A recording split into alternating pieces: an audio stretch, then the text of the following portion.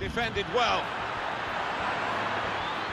Sadov to put them in front. How spectacular is that? Well, you have to get the timing absolutely perfect to take that on.